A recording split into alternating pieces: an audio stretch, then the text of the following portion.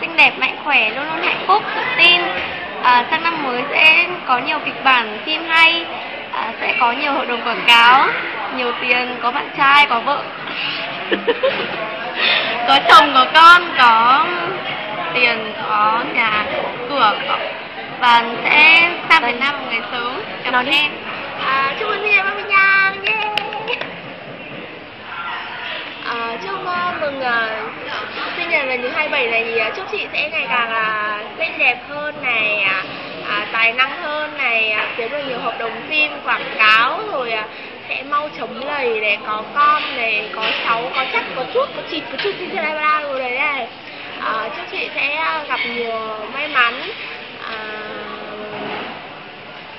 gặp nhiều may mắn nữa và sẽ có tự tin để vượt qua được mọi khó khăn.